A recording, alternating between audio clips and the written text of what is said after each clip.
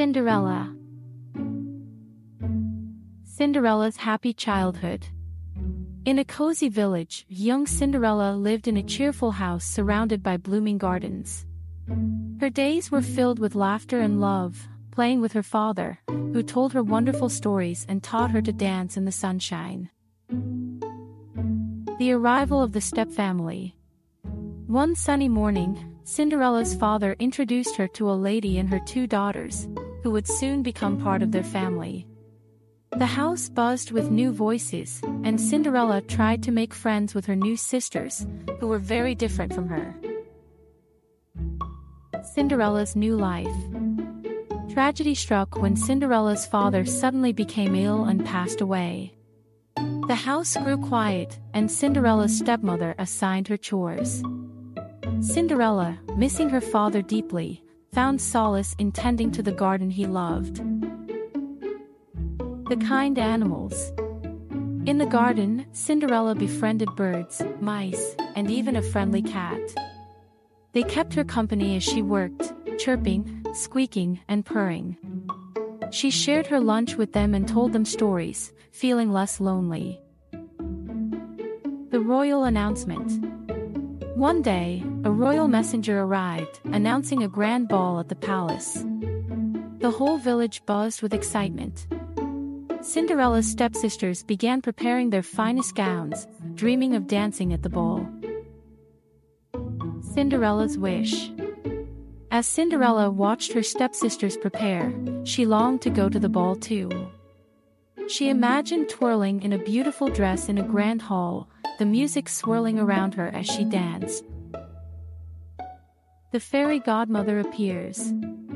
On the night of the ball, Cinderella sat in the garden, feeling sad. Suddenly, a warm glow appeared, and an old, kindly woman stood before her, claiming to be her fairy godmother, there to make her wish come true.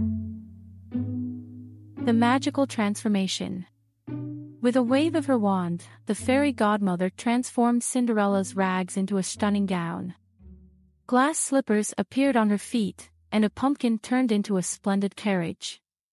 Cinderella's hair was styled beautifully, and she sparkled under the moonlight. The Grand Ball Cinderella arrived at the palace, awestruck by its grandeur. The ballroom was magnificent, filled with people in splendid attire. When she entered, the room fell silent, everyone admiring the mysterious, beautiful girl. The clock strikes midnight. Cinderella danced with the prince, feeling like she was in a dream. But as the clock began to strike midnight, she remembered the fairy godmother's warning and hurriedly left the palace, afraid her magical dress would vanish. The Lost Glass Slipper in her rush, Cinderella lost one of her glass slippers on the palace steps. She reached her carriage just in time, watching as it turned back into a pumpkin. With a heavy heart, she walked back home, holding on to the memories of the magical night.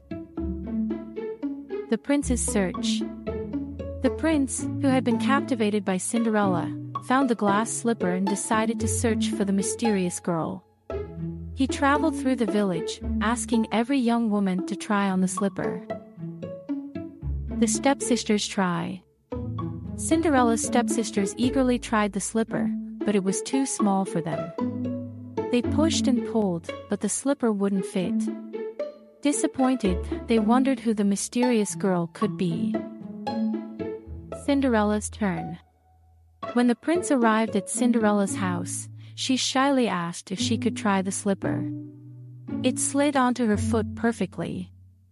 The prince recognized her smile and knew he had found the girl he had danced with. A happy reunion. The prince and Cinderella rejoiced at finding each other. Cinderella's stepfamily was amazed to learn that the mysterious beauty at the ball was Cinderella. The prince invited her to return to the palace, promising a life filled with love and happiness. A joyful celebration. Cinderella married the prince in a grand celebration. The kingdom rejoiced at the union, and Cinderella invited her stepfamily to the palace, choosing to forgive and start anew. Together, Cinderella and the prince lived a life full of joy and kindness, sharing their happiness with all around them. ZooZoo Stories. Like and subscribe.